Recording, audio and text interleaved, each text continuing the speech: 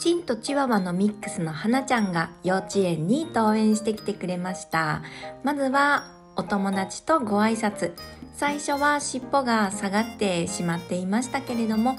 この後交流しているうちに尻尾もブンブン振って積極的に遊べるようになってくれました。花ちゃんはとっても元気な女の子です。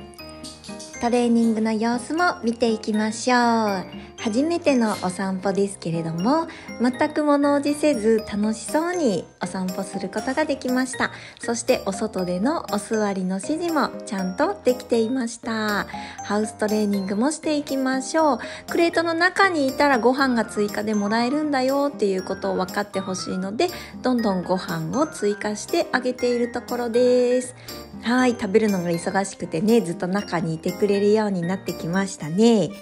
毎日のお食事やおやつをあげる時もクレートの中であげるようにしてクレートの中はご飯やおやつがもらえる大好きな場所というイメージにしていきましょうね。そして仰向け抱っこの練習です。元気な花ちゃんは途中でちょっと遊びに行きたくなってバタバタとしてしまうんですけれどもお利口にできているタイミングでまた元の姿勢に戻してまた仰向けにしてこれを繰り返し練習していきました幼稚園が気になる方は概要欄を見てね。